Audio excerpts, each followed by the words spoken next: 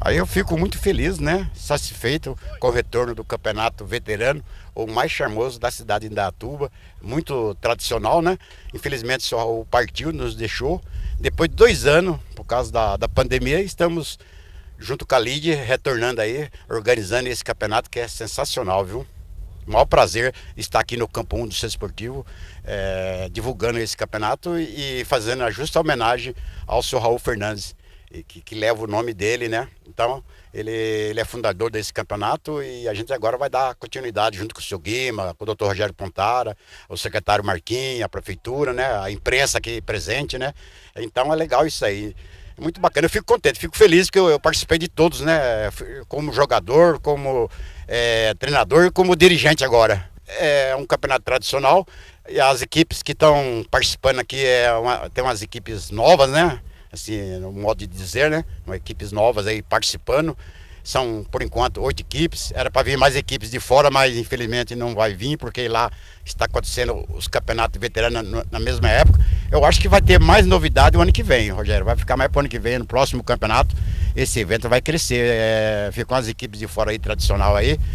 O pessoal ficou mais velho, né? Agora está aparecendo os jovens aí, os jovens senhores de idade aí que vão participar, que vão jogar, que vai disputar. E desejo boa sorte a, a todos que, que, vão jogar e os que vão participar, né? Sim, é, esse ano a gente preservou bastante a rapaziada por conta da pandemia, a rapaziada que já estava no foco do futebol, já estava vivendo o futebol, continuidade. É, deixamos de lado um pouco assim a rapaziada que mais de idade, entendeu? É, assinamos uns caras mais próximos da idade mesmo que, que busca o campeonato base de 35, 36, no máximo 37 anos tem jogador com nós. E estamos aí.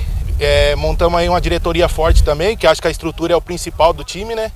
E que Deus abençoe aí a nossa jornada aí durante esses sete jogos aí, fazer um bom campeonato e não para por aqui não. É, amanhã tem mais também no Amador lá do Manchester.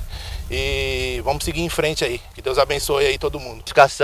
E é um, eu, eu desejo um grande abraço para o seu Raul, onde que ele esteja, porque é uma grande satisfação estar com nós aqui no Centro Esportivo. Ah, o torcedor pode esperar que vem grande surpresa por aí. O time está certinho, tá, tá bem compacto e o nosso time está bem entrosadinho.